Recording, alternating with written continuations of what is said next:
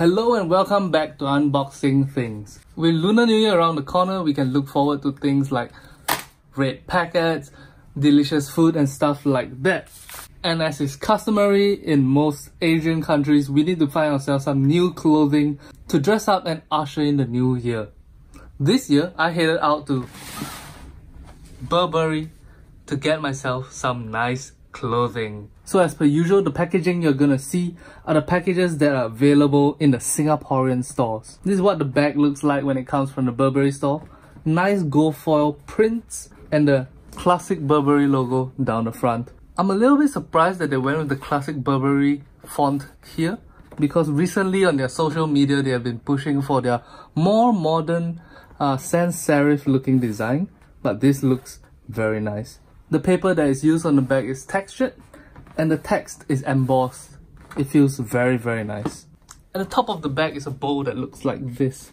Let's undo it and pull this out. The bowl is made of some kind of thick cloth. It feels kind of nice in the hands.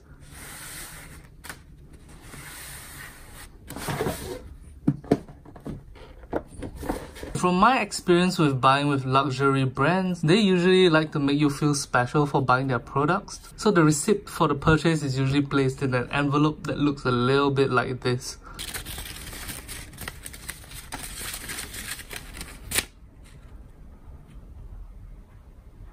This is what the box looks like and it comes with a card. It says on the top, thank you for shopping with us. Happy holidays, Paragon Burberry. I'm really excited. Let's get into this box. Let's slide this out. Okay. Same material for the ribbon as before. The box that the product comes in feels nice and sturdy. Very nice. And we slide this out. Inside the box is obviously my purchase with a nice thin brown wrapping paper around it. There's a gold sticker over here that says Burberry. Let's peel this off.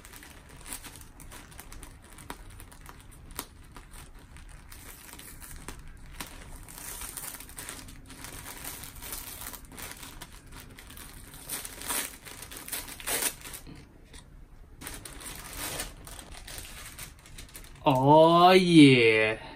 Look at that beautiful deep red, perfect for the Lunar New Year of the box. And here we go. This is the red vintage check detail jersey hooded top by Burberry. So here you go. This is the hood and on the inside of the hood, you have the classic vintage check design. I was considering between the M size and L size, whether or not to wear it as an oversized hoodie or a properly fitted hoodie. In the end, I chose the M size. Let's take a closer look at the details. So on the left chest, you can see the Burberry logo embroidered into the hoodie. Here's the zipper. It's a beautiful big zipper with the Burberry logo uh, written on it right there. The zip is thick, metallic, nice and bright and should be smooth all the way to the bottom. Very nice. Around the hoodie there are drawstrings obviously and on the tip of the drawstring is once again, the Burberry logo. The Burberry vintage check design goes all the way from the hoodie all the way down to the bottom of the hoodie. As you would expect, they tried to match up the, the prints of the vintage check design as far as possible.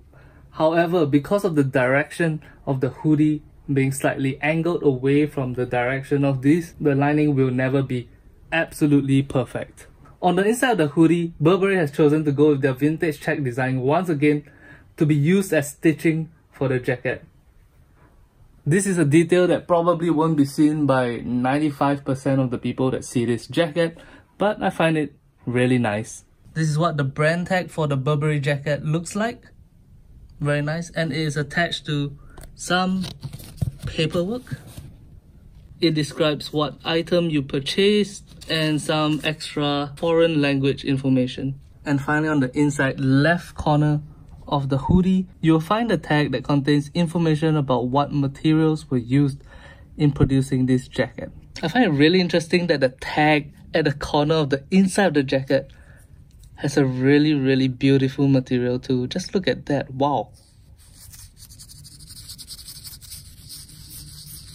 Alright, so there you have it. That's my quick look at the vintage check detail jersey hooded top from Burberry in a beautiful luscious red, perfectly timed for Lunar New Year.